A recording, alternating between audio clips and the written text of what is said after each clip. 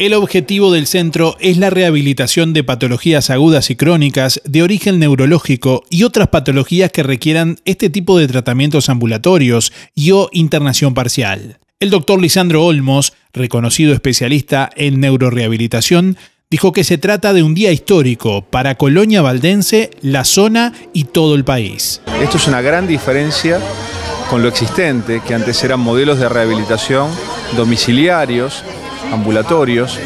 Hoy aquí en este centro confluyen la experiencia de un equipo profesional, multi e interdisciplinario, compuestos por kinesiólogos, terapistas ocupacionales, audiólogos, psicólogos, nurse y médicos, y equipamiento de última tecnología, lo cual va a ayudar a muchísima gente de la población del Uruguay y de toda la región a recibir tratamientos este, verdaderamente efectivos.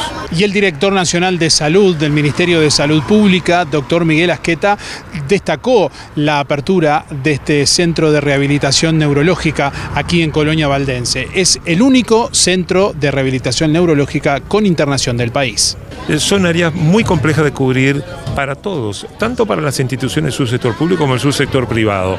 Cuando alguien bueno se arriesga y solicitando obviamente todos los avales correspondientes, se decide hacer inversiones y por otra parte tiene personal capacitado y regulado por el Ministerio de Salud Pública, avalado su funcionamiento, es un logro. Asqueta manifestó que siete uruguayos mueren por día a raíz de patologías neurológicas, lo que significa un número demasiado elevado. Se calcula, se calcula justamente que por día habría unos siete uruguayos, porque si me pedías un número, que por enfermedades cerebrovasculares están perdiendo la vida.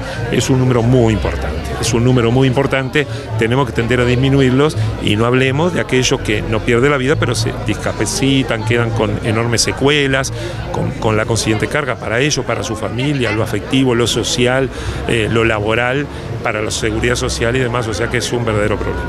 Desde Colonia Valdense, para Canal 5 Noticias, Darío Izaguirre.